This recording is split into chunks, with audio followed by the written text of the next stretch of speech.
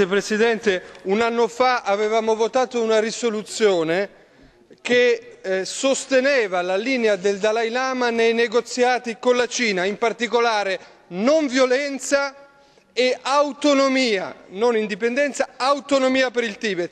La Cina ha fatto saltare questi negoziati accusando il Dalai Lama di essere violento e all'origine della violenza e di essere per l'indipendenza e non per l'autonomia.